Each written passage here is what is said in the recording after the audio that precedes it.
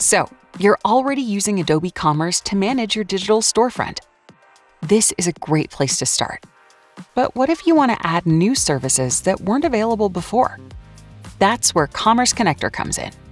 Commerce Connector was developed by Adobe to unlock SaaS functionalities for certain extensions by enabling your Adobe Commerce or Magento open source instance to get more value out of different services, such as payment services for your e-commerce website. The Commerce Services connector is made up of these core elements credentials, SaaS configuration, and available services.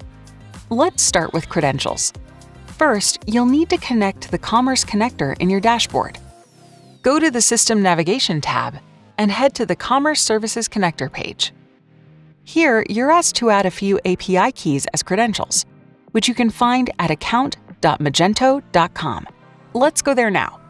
Once you've logged into your account, you can navigate to the API portal. Here, you'll need to make a different set of private and public keys for both your sandbox and production environments. To learn how to generate sandbox and production API keys for your Commerce instance, watch our video on how to troubleshoot the Commerce Services API connector. You'll have created four keys in total. Check out more resources on the Payment Services Guide on Adobe Experience League. Back in your Commerce dashboard, you'll start the SaaS configuration by pasting each API key into its designated section.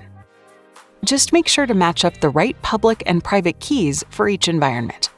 You'll put the Sandbox Public API key in the first field.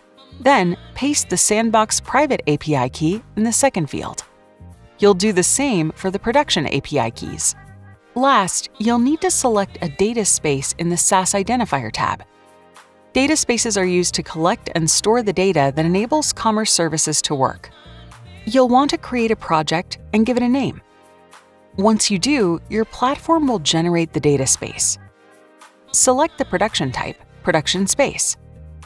Underneath this section, you'll also see the data space ID. At this point, you'll click Next. Here you can add your IMS organization using your Adobe ID but this is needed for other services, not payments. So we'll click Skip and Finish. If you do add your Adobe ID, you'll click Save after. That's it!